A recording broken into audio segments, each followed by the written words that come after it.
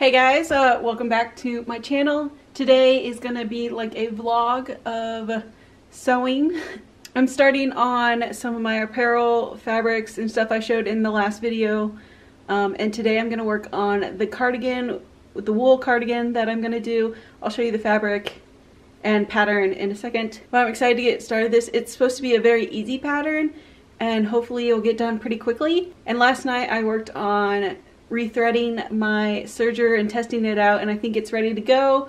So I can use that on this pattern. It'll go super quick and I'm excited to try it. Um, it's my first time using a serger on like a project.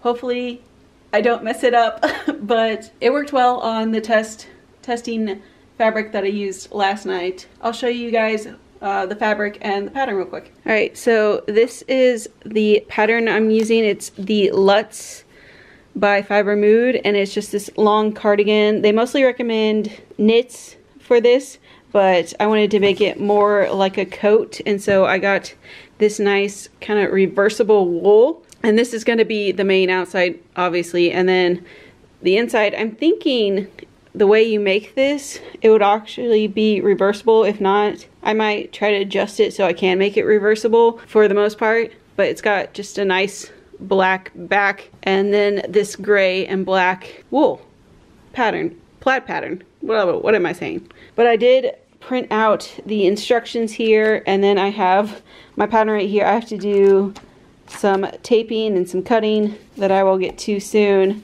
But yeah, that's the first part. I got to put the pattern together and cut it out and get to work. I think there's only like six pieces or so, like two sleeves, two fronts and a back, two backs or whatnot. So not too hard. And I did put in my black thread on my serger and got it all threaded and it works. I tested it out on some spare uh, fabric last night and it looks good. It's uh, going well. So I can use that on this project. So I'm going to stick on my headphones and then get to work to putting the pattern together and then cut it all out. I think I'm gonna go with the medium sizing. I looked at the measurements and measured myself yesterday and I also have like a similar coat that I bought years ago um, or cardigan that is big like this and it's a medium and I like the sizing of that so I'm gonna kind of stick with that. I should have enough fabric and I'm excited to get this done.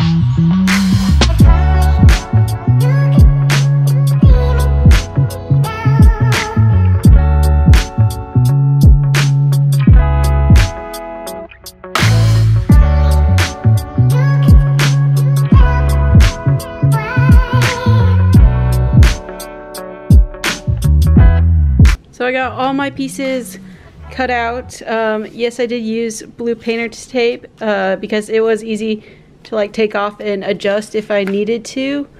And then I saw this tip on like Instagram where you just fold the corners of your sheets and line them up. And so you don't have to cut out all your papers if you print it out at home, which is nice. And so I just got like four large pieces. I'm not doing the little sash that you can do with this. See, you can you can make a little sash, but I'm not gonna do that. Maybe later. I, it's it's something you can choose to do later if I want to. Um, I would just have to cut that out. But yeah, I got all my pieces cut out for the robe, and now I just have to put it on the fabric now.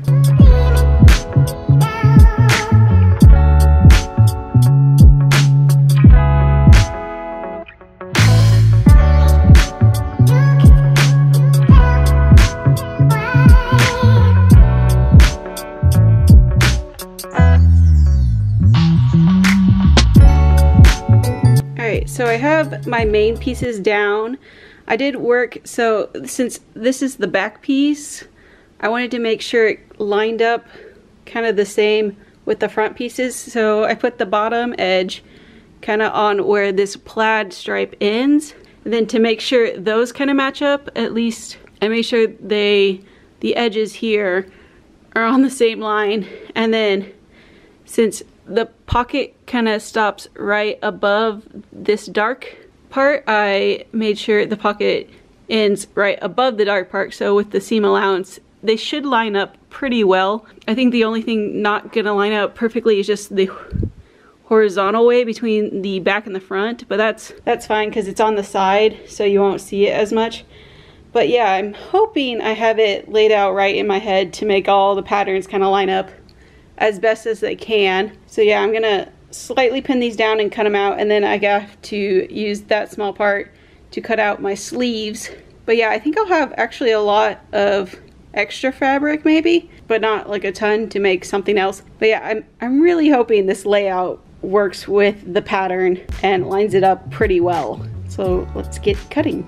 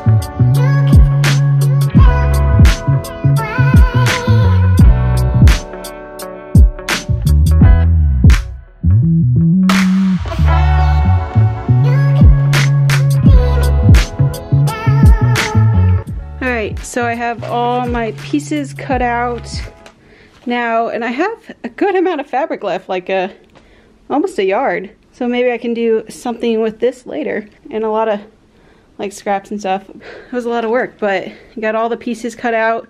Now just to start sewing, I gotta read the directions first and figure out what I'm doing. But yeah, I already got all the thread and stuff on my serger because I'm gonna use that because I did briefly go over the instructions last night and they said to use the serger because I think, you know, mostly you do this in knit, but it will work well with the wool. So we're gonna get started sewing. So after reading the instructions, I found out I'm gonna have to delay the rest of this sewing for tomorrow because I threaded my serger with the black and that's all right, but I actually need my regular sewing machine also for certain parts and I don't have black thread for that. So I'm gonna have to get some black thread from my mom. Uh, luckily I'm going over there tonight and tomorrow I can hopefully finish this by just sewing it all together. Um, I just don't have black thread for my regular sewing machine and I don't want to risk using white and it being shown. So I'm just gonna wait even though I really want to finish this. Um, I'm gonna wait, get the thread, and, and then sew it together. So tomorrow, finish this. But you'll see it in this video still. so see you tomorrow. Okay, hey guys, so since the last clip, it's been two days and I, but I got everything set up. I have black thread in my sewing machine now and I had to get a new footer um, thank goodness for Amazon Prime, but I got it all worked out and it's working now. And so I just started pinning what I'm gonna sew first. Um, it's the pockets of the cardigan. See, I started pinning them and I was worried because uh, I started using the other cutout of this side and it wasn't lining up, but figured it out, just used the other one. So now I just have to start sewing this all together. Hopefully this will go pretty quick. Um, but you can see I got black thread on my machine and on my serger now. And I can start putting this together. I got all my instructions here and hopefully uh, this won't take too long to finish because I'm excited to wear it before it starts getting warm again. I don't think it will, but you never know in Texas. All right, let's get sewing.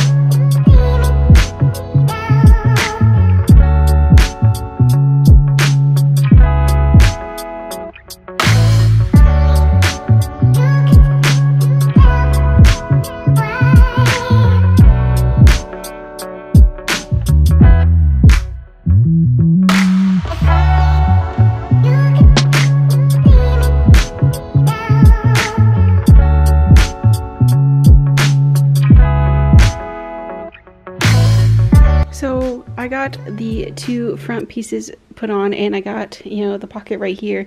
And I think I did it well because look, I even got it to line up with the plaid pieces on both of them. Um, you know, the stripes going into the stripes, even with the change of fabric. So I cut it right. I'm happy about that. And now I have cute little pockets. But yeah, these are the two front pieces. Um, now I think I'm gonna sew these together and trim them up with the overlocker and then sew on the back.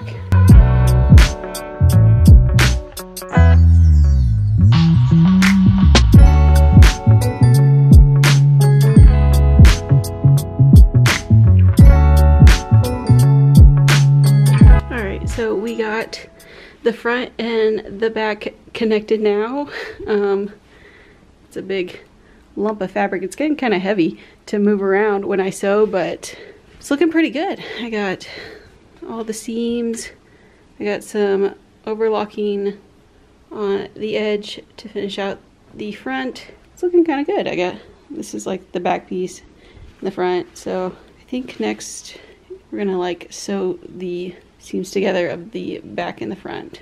Alright, so we got the back and front together and I would say the last part was a little confusing. I wasn't sure if I was doing it right, just this neck part for the back. Um, I don't know if it's going to lay right, but kind of looked like the picture. So now we're just going to pin on the sleeves and then sew them all again, sew them on, and then sew up the sides. And I think it'll be done. And then we just got to hem it. Exciting it is kind of get um, a little difficult to maneuver just because it's such a heavy fabric, but it's not too bad. There's strings all over me, but we're just going to put on the sleeve now. Okay.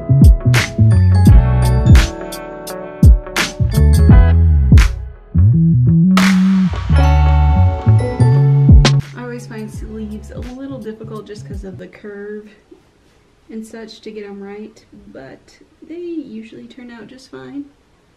Um, I've only, you know, done them a couple times. I definitely pin a lot just to make sure that they line up as I go.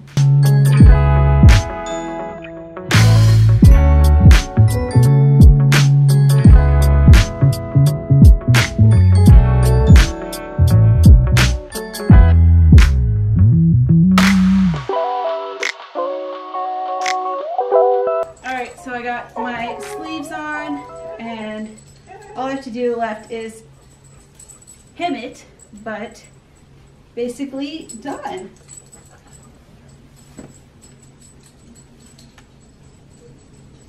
Yeah. Got pockets. You see the plaid lined up nicely, but really liking how it turned out. Just have to finish hemming it. So here's my finished cardigan. Um, I wasn't sure about this neckline at first, but I think it turned out well, and I think I like the contrasting black part of the fabric, but you know, all the plaid matches up. I hemmed it, and have my sleeves on. I have a lot of thread on me, but yeah, I finished my first garment of the year. I think it turned out really well. Um, the only confusing part was the neckline yeah, but really happy with it. I can't wait to wear it soon. Yeah, really comfy too. Pretty simple pattern to follow. I feel like it's going to be nice and warm.